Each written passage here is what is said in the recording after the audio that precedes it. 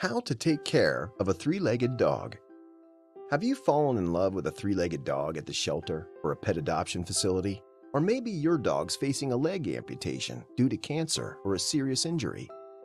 It's hard to consider what life would be like for a dog and if you'll be able to adapt to a three-legged fur baby. We're here to tell you three-legged dogs deserve love, happiness, and a forever home just like any regular dog with four legs. We've put together some information that we hope will take the mystery out of having a dog with three legs, and that dogs really can be quite happy on three legs. How to care for a three-legged dog. Dogs with three legs are still dogs and love to be dogs. So when it comes to caring for a dog with three legs, be ready to treat him like any normal dog. He'll love you for it.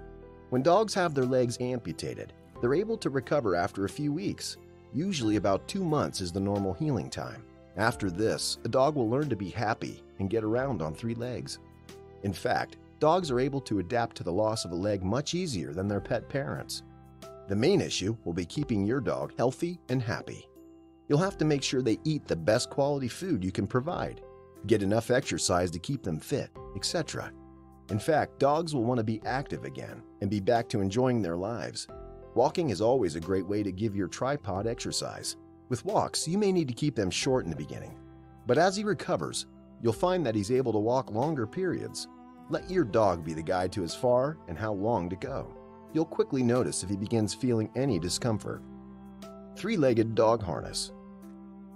Some dogs need a little more assistance after they lose a limb. For these dogs, it might be helpful to get a dog harness, especially made for three-legged dogs.